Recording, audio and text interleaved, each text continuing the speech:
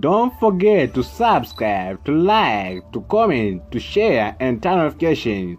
Okay, this is all about the Burkina Faso versus Togo AFCON qualification match, whereby this is round three, much us. Burkina Faso's get chance to this game venue. This game will take place at instead uh, Marrakech in Marrakech. Burkina Faso referee be the eye from Senegal, whereby side of club standing both Burkina Faso and Togo belong to Group B, the same group with Cape Verde and Eswatini. Point.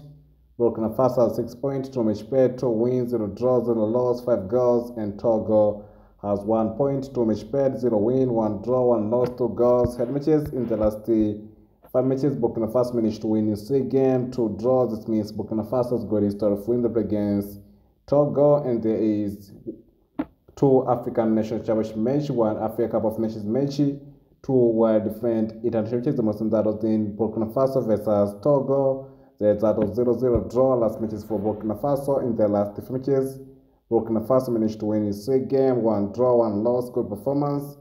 Three were different international matches. Also, there's two African Nations Championship matches. The most that was between Burkina Faso versus Ivory Coast. That was 2-1. Burkina Faso won.